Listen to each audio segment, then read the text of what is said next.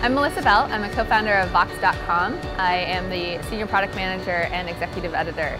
We are a news organization that is a digital first um, publication looking to bringing context to news stories um, and helping surface stories and information to readers wherever they are. We're in this time period where we're trying to all figure out digital journalism together. Um, what does it mean? It doesn't matter if you're working at a more traditional news organization, one that's been around for 20 years, 100 years, or one that's only been around for six months, like, like Vox. Um, we, we still need to ask the different questions um, together. And um, I think that this is really a chance to, to find some answers, um, to, to think about how to be creative, how to experiment, um, to how to be nimble. I mean, there's, these are lessons for startups and for large media organizations. We're a live site, and so we're thinking about the news of the day, we're thinking about the short-term answers.